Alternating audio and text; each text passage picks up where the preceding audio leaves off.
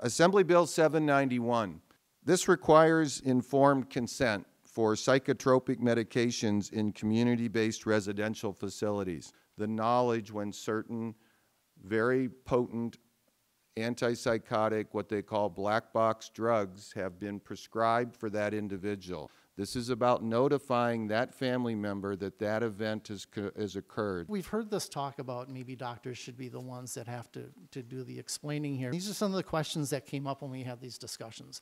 Would a doctor know that the person is in a CBRF? Would they know um, that a healthcare power of attorney or guardianship has been activated?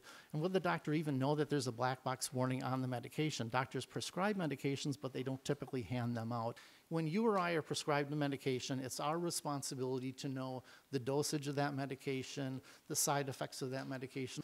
When someone takes that package away from you and the instructions away and then administers the drug to you, you no longer have the ability to be an informed consumer.